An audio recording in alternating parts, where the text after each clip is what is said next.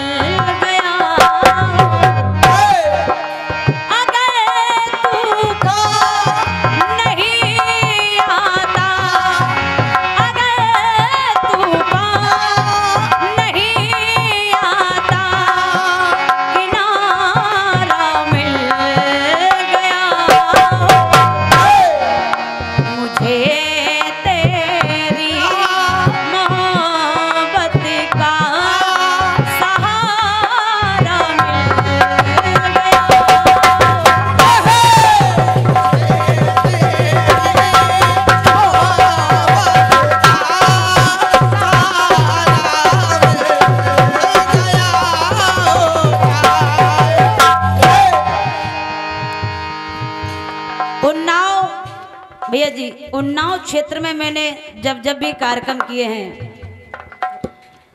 अगर बउआ भैया घर पे होते थे तो मुझे मैं जिस जिस कार्यक्रम में गई भई हमारे भैया मुझे वहाँ मौजूद मिले।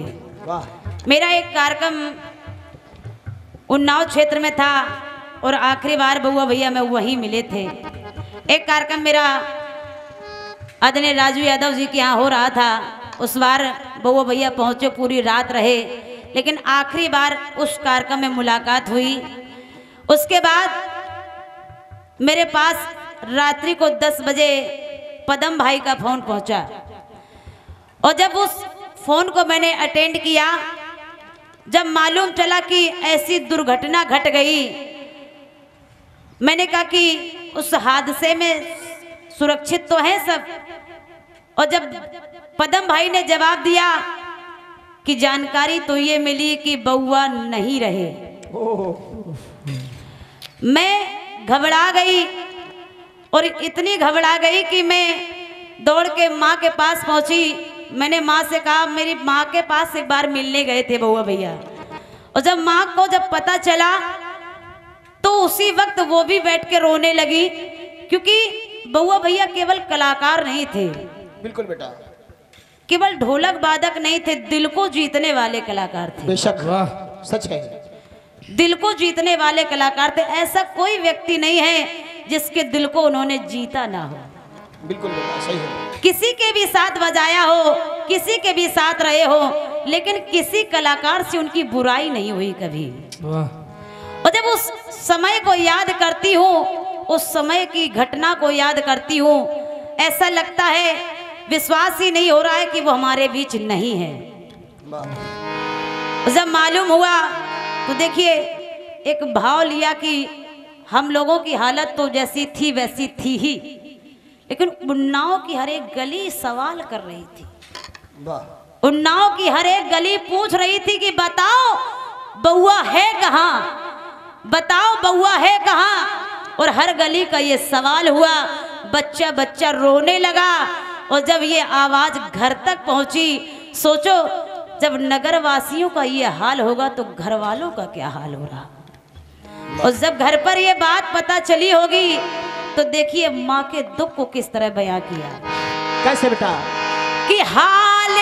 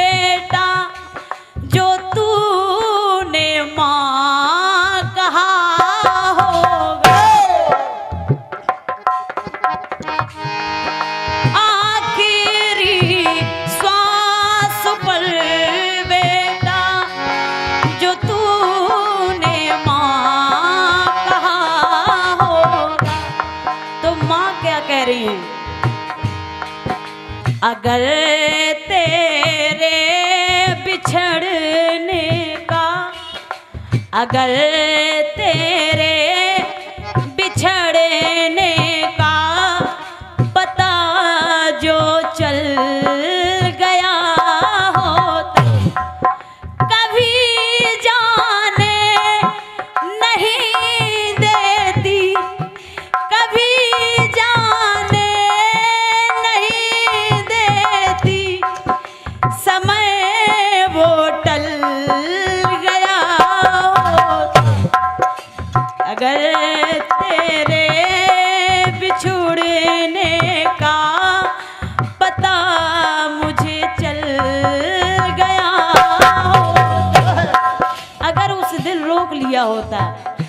अगर उस दिन रोक लिया होता तो शायद इतनी बड़ी घटना ना घटी होती।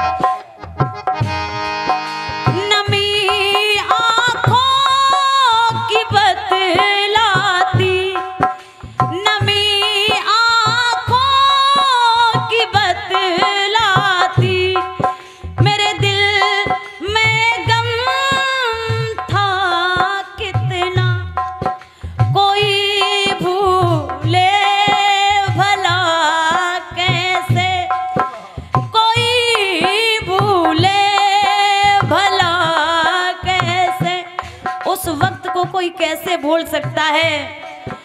कोई भूले भला कैसे दिया गहरा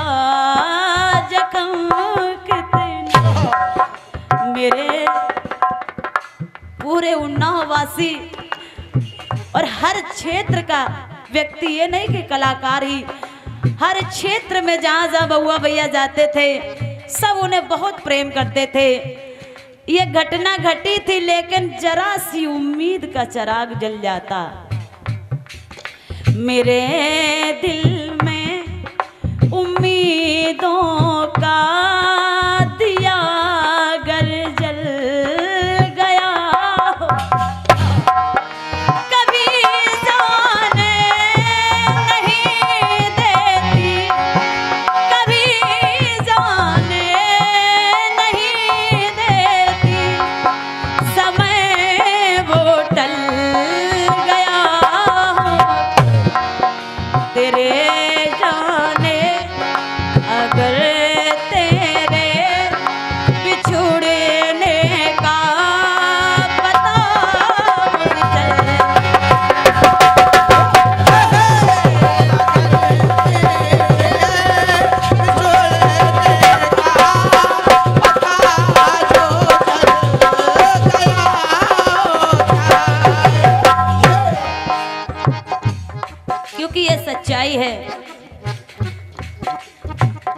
कहाँ कहाँ से भुलाएँगे उनको? कितना भी प्रयास कर लीजिए लेकिन कभी नहीं भूल पाएँगे। जब जब भी कीर्तन होगा जब जब भी ढोल पर ताल बजेगी जब जब भी कीर्तन की चर्चा होगी तो सबसे पहले एक नाम आ जाएगा बउआ पांडे। बिल्कुल बेटे। और वो कोई भी नहीं भुला सकता। क्यों? भाई की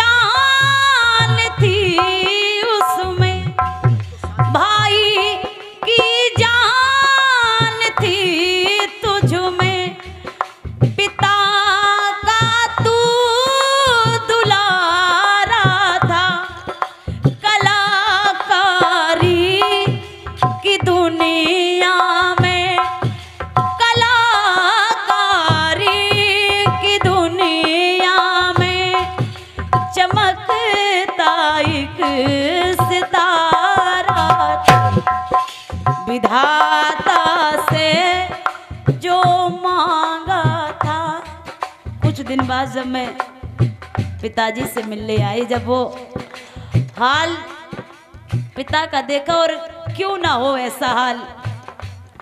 पूरे घर में एक उदासी सी छाई थी, छोटी सी बिटिया। मैंने देखा नन्ही सी बिटिया जो कहती मेरे पापा आएँगे पापा आएँगे। उसके दुख को देख करके हृदय जैसे फट गया मेरा। पिताजी की हालत देखी मुझसे देखा नहीं गया मैं बहुत ज़्यादा नहीं रुक पाई क्योंकि वो कष्ट जो पिता को होता है माँ तो रो के कह लेती है। लेकिन एक पिता है सोचिए कि उस पर क्या बीतती है जो घर को संभालने के लिए रो भी नहीं पाता है और इतना दर्द अगर वो सहे तो सहे कैसे? विधाता से जो मांगा था बचन वो पल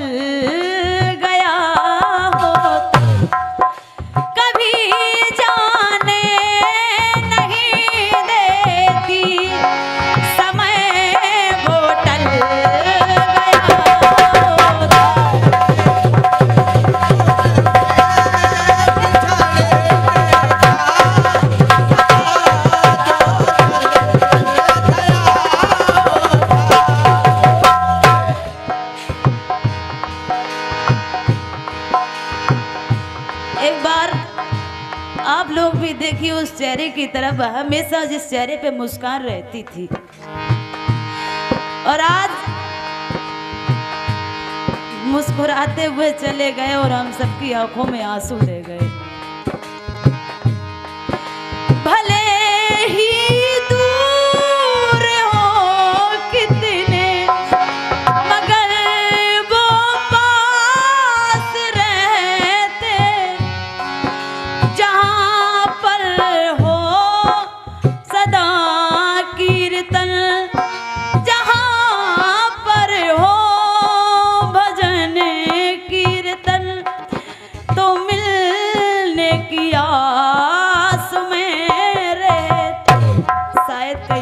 फिर मिल जाए। शायद कहीं से फिर मिल जाए। अगर मेरा मुझे हमेशा मेरा नाम नहीं लिया बउआ भैया ने। कहते थे, बच्चा बउआ बेटा, कभी नहीं कहा कि कल्पना। और वही प्यार मुझे, हमारे पिताजी ने दिया, हमारे सचिन भाई ने दिया। लेकिन कहीं ना कहीं बउआ भैया आपकी कमी खल रही है।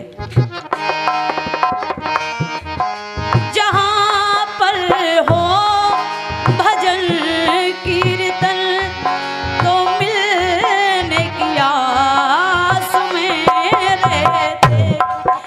अगर मेरा विदाता अगर ये कर देता कि मुझे अगर आपसे पहले ले लेता। अगर मेरा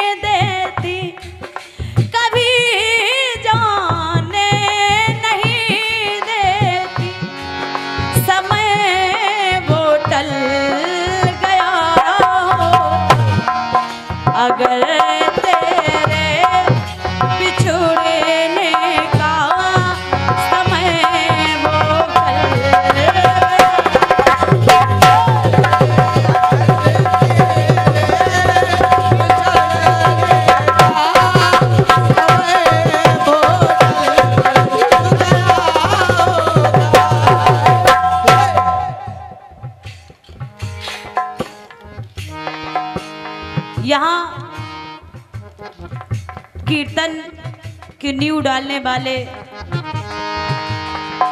और मैं चाहूँगी कि जब तक कल्पना द्विवेदी कीर्तन गाएगी,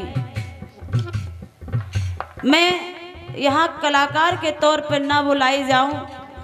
यहाँ हमेशा कीर्तन होता रहे हमारे बउआ भैया की याद में। और जिस किसी भी तरह से उसकी बहन का आपको सहयोग जो बन पड़ेगा, वो करूँगी। आप जैसे चाहेंगे, सिर्फ़ एक फ़ोन करिएगा। मैं ही नहीं, मामा, मैं ही नहीं। आप कीर्तन की दुनिया में किसी को भी फ़ोन करके बस इतना कह देना कि बउआ भैया के लिए कोई मना नहीं करेगा। संजय भैया से हमारी बात हुई। संजय भैया ने कहा, हमने कहा, भैया, कार्यक्रम है, वहाँ आएँगे। संजय भैया ने कहा कि बउआ भैया का कार्यक्रम है, उसके लिए तो जान हाजिर है। बउआ के लिए तो मैं जान भी दे दूँगा, और जहाँ मेरी ज़रूरत होगी, वहाँ मैं खड़ा नज़र आऊँगा। और ये केवल संजय भैया नहीं, ये कोई भी है। कीर्तन का हर एक श्रोता बउआ भैया के लिए तत्पर खड़ा है। और मैं पिताजी से भी चाहूँगी कि मुझे कभी अपने से दूर मत करना, क्योंकि बहुत लगाव था। और वही प्रेम आप लोगों से मिल रहा है तो हमेशा वो हमारे बीच में जीवित रहेंगे, ये विश्वास है मुझे। वो जाएँगे नहीं, वो जीवित रहेंगे हमेशा।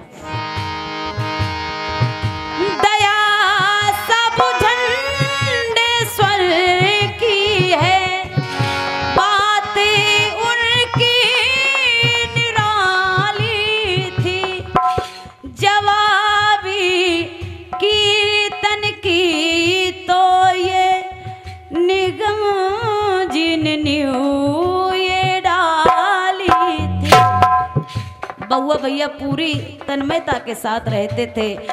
दादा हमारे निगम जी, जिनसे मेरी मुलाकात तो नहीं हुई है, लेकिन यहाँ आके पता चला कि वो कितने व्यक्तित्व के धनी थे, जो हर किसी के ज़ुबान पर उनका नाम मिला।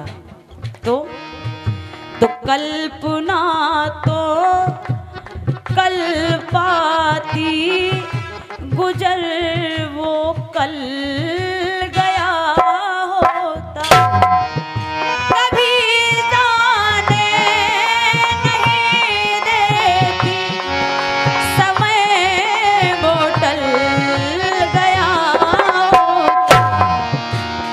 अगर तेरे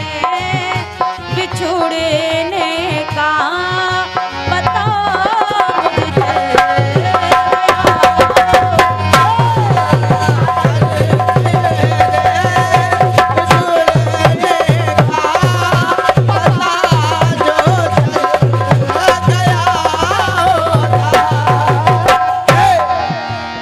क्योंकि संतोष मामा इतना कष्ट मुझे इसलिए हो रहा है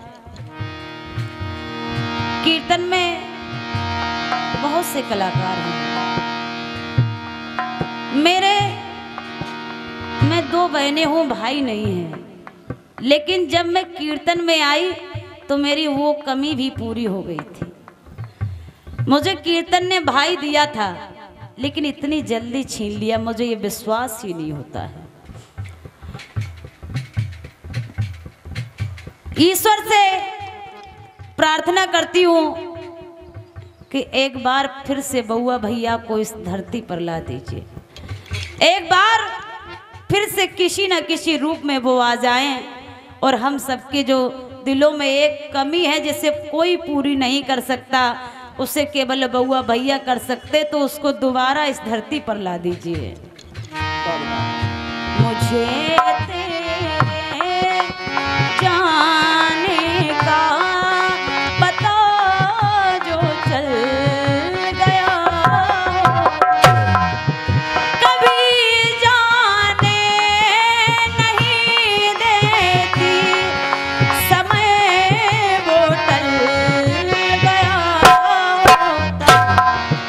अगर तेरे बिछुड़ने का पता मुझे चल गया होता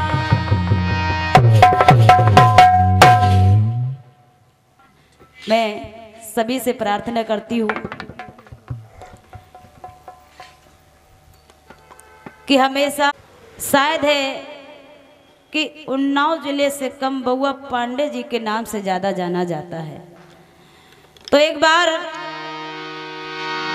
चाहूँगी कि सभी लोग खड़े हो जाइए और दो मिनट के लिए मौन धारण करके उनकी आत्म शांति हेतु आप लोग दो मिनट के लिए मौन धारण करेंगे।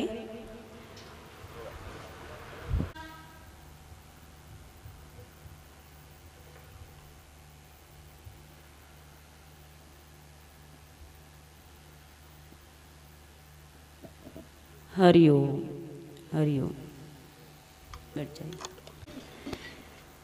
श्रद्धांजलि गाने का दुर्भाग्य समझती हूँ अपना को जो मुझे ये समय देखने को मिल रहा है। बहन आदरणीय रिंकी जी आ रही हैं। मैं